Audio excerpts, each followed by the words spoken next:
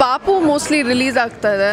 I think in in in in the next couple of months it should release ದಳಪತಿಯಲ್ಲಿ ಒಂದು ಎರಡು song balance ಇದೆ. ಅದಾದಮೇಲೆ I've already sign one new Kannada film I am not allowed to talk about it but I think January ಇಲ್ಲಾಂದರೆ February start ಆಗುತ್ತೆ.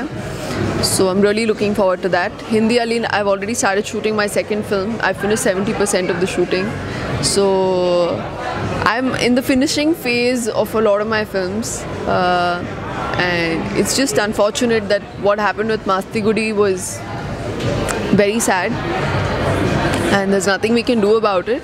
Uh,